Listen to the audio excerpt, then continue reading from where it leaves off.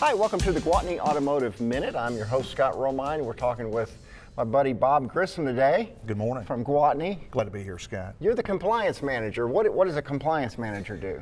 Well, Scott, I'm not going to give you a textbook answer because we don't have one uh, as far as that goes. But basically, my job is to find out better ways and to follow through on ways to take better care of our customers. And you do a good job with that. Well, so far. Tell us about one of the things you do. It's so cool uh, that I don't know of any other dealerships doing. It's an owner's clinic. Mm-hmm, mm-hmm. Well, how's that go? Uh, well, they they go quite well. I know you've been at a few yourself. A few, so a few of them, yes. Basically, Scott, you know, many years ago when I first started working for Gwatney, we figured there was a way that to to bridge that gap between buying a vehicle and what happens now.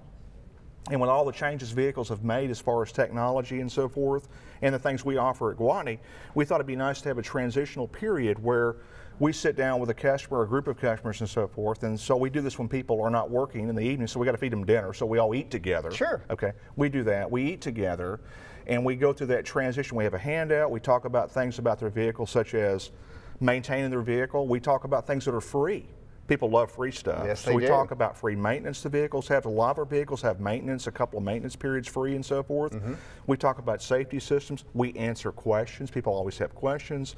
So someone buys a new or a pre-owned vehicle from either Gwatney dealership. Yes, sir. They're going to end up getting a call from you or a text from you. Well, they're probably going to get a text with a picture of food.